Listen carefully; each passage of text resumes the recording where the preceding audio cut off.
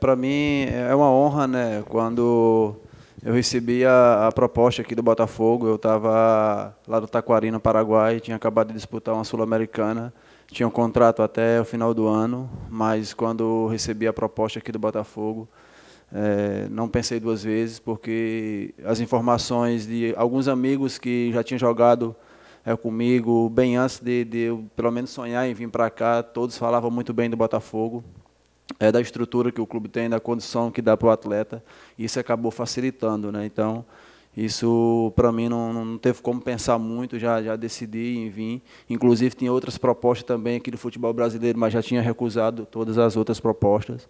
E quando chegou a ser do Botafogo, eu não pensei, por ser um clube estruturado, um clube que está brigando pelo acesso também, então isso facilitou bastante para que eu pudesse tomar essa decisão.